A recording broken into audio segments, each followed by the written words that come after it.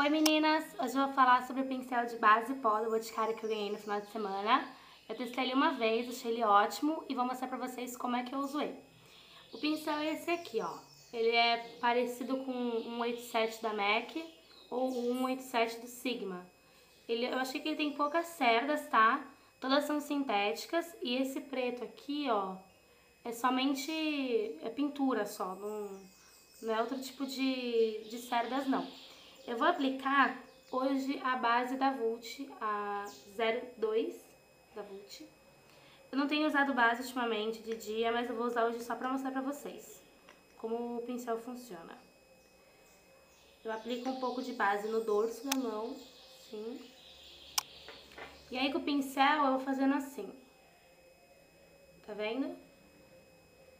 Até pra ele pegando a, a base. Faz um pouquinho assim e aplique movimentos circulares.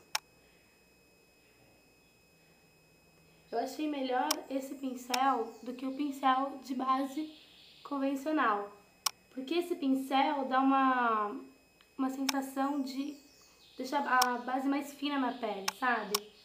Não deixa tão pesado quanto o pincel convencional. Eu achei esse aqui bem melhor. Aí você aplica mais um pouquinho assim.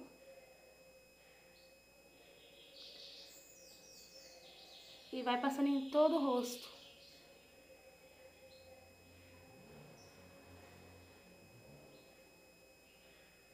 Fica bem fininho, gente.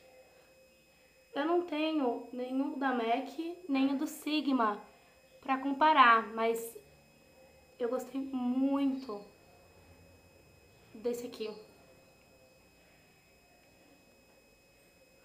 Deixa uma cobertura bem suave.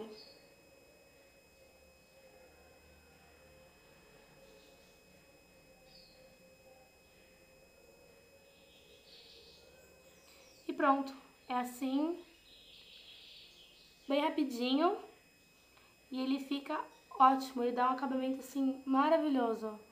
Deixa assim bem fininho, parece que você não tá usando nada. Bem diferente de quando você aplica com outro pincel parece que a, carrega assim no rosto, sabe? A base. Achei esse aqui ótimo, recomendo e até a próxima.